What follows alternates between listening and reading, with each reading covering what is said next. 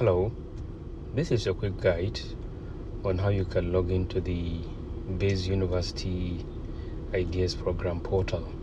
A lot were complaining that they cannot be able to log into the portal using their mobile device. Uh, some are asking that I don't have the class code. You don't need to have the class code. Follow this step, you should be able to log into the portal. Uh, first of all, you need to have a browser installed on your mobile device. I have Google Chrome installed, so I'm going to open Google Chrome.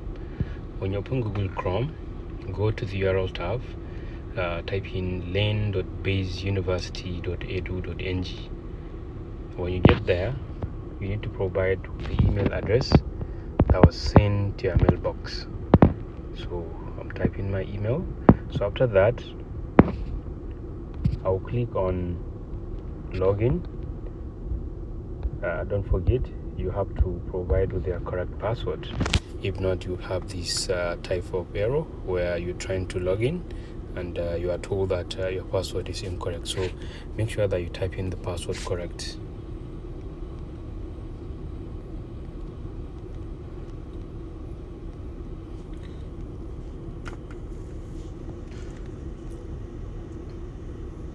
so i have logged in successfully to the portal. Now you don't need to click on join class. All you need to do is to click on ideas digital learning.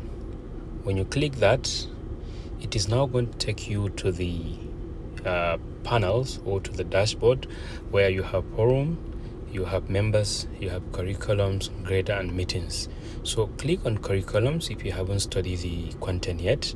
These are some of the modules under the program or under the course. So take your time and study each of the modules watch the videos before you come back and take the quiz. Now under the forum when you click on forum you will have uh, Abdul Mutalif which uh, posted the assessment four days ago. So click that.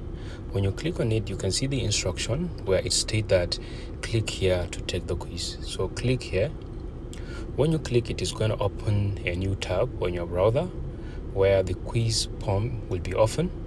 So make sure you study the content properly. Do not rush. Read the instruction. Make sure you supply with all the necessary details. Thank you so much. That is how you can be able to log into the uh, baze university ideas program dashboard. Don't forget if you have any problem can send an email to ideas at bazeuniversity.edu.ng.